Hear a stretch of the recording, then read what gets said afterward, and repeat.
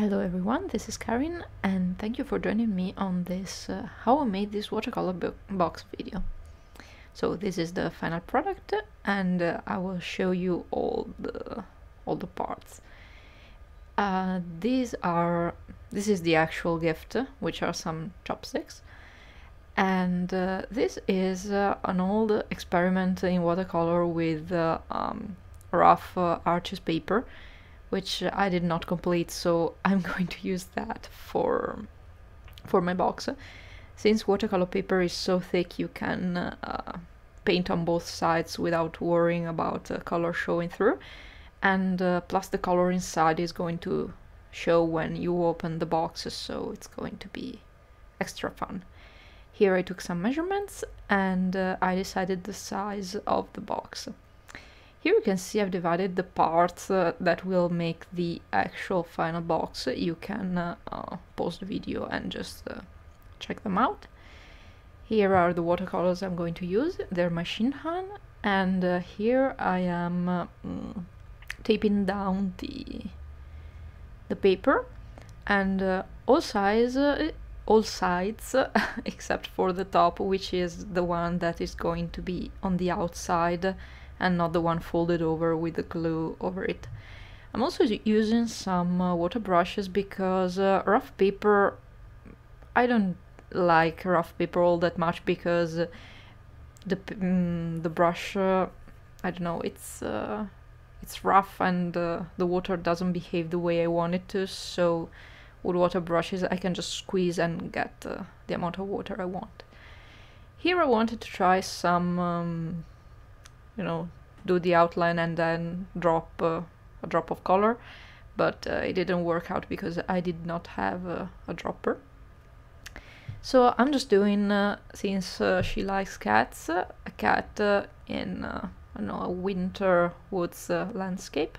And I'm using mainly blue colors with some dash of red thrown in just to break the the monochrome and uh, something simple, not uh, not really hard, and uh, then uh, leave it to dry for about uh, a week. No, just kidding, a couple a couple of hours, and then here I'm going to show you how I bent the the paper.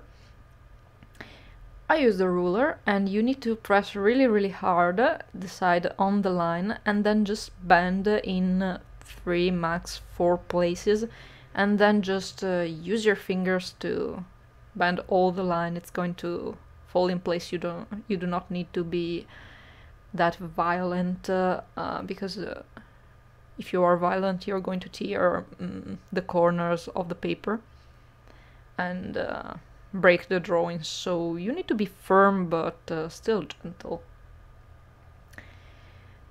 Okay here I bent all the horizontal lines then I am going to okay check if everything is in its proper place. Yes I do like how it's uh, turning out. The next thing is uh, unfold it and uh, do the black lines because uh, I didn't trust uh, uh, my Pitt pens not to smear when when I bent the paper. So I did the bends the bending before Yes, today is a particularly hard day for the hospital workers.